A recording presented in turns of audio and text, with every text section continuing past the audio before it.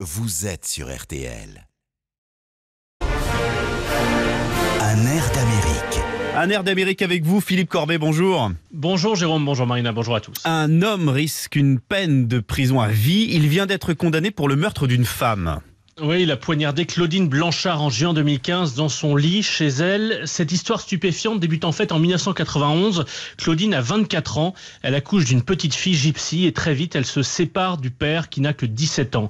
Euh, elle est convaincue que le bébé souffre d'apnée du sommeil. Les tests médicaux ne trouvent rien et la même chose va se reproduire à plusieurs reprises au fil des ans. Claudine va voir des médecins en s'alarmant que sa fille souffre de tel ou tel mal, des dystrophies musculaires, des crises en tout genre. Quand un médecin ne trouve pas l'origine du mal. Claudine va en consulter un autre, puis un autre encore. Elle déménage, donc il y a à chaque fois de nouveaux médecins.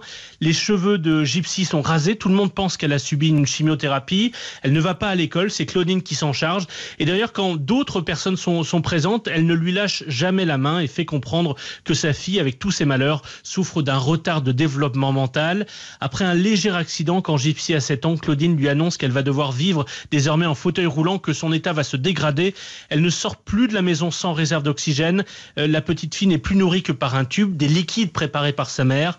Et Gypsy, toute fragile, toute menue dans son fauteuil, avec de grandes lunettes, presque édentées, suscite la compassion et les dons affluent. Vous voulez dire que la petite fille malade rapporte de l'argent à la mère? Oui, Claudine, pendant des années, vit essentiellement des aides et cadeaux de fondations de bienfaisance. On leur offre même une maison. Elles vont à Disneyland, à des concerts caritatifs avec des vedettes. Gypsy grandit, elle sait bien qu'elle peut marcher, mais sa mère lui dit que son état va se dégrader. Elle l'oblige à rester dans son fauteuil. Elle la frappe quand elle se rebelle. Je vous résume brièvement, mais les détails de cette histoire sont sordides. Mm. Claudine, la mère, est soupçonnée d'avoir empoisonné sa propre mère au Roundup parce que la grand-mère avait des doutes sur les maladies de, de sa petite fille. Quand Gypsy a eu 21 ans en 2012. Elle a commencé à entretenir une relation via Internet avec un jeune homme. Dès leur première rencontre, elle lui demande de la conduire jusqu'aux toilettes avec son fauteuil et ils ont dans les toilettes une relation sexuelle. Et c'est lui qui a tué la mère.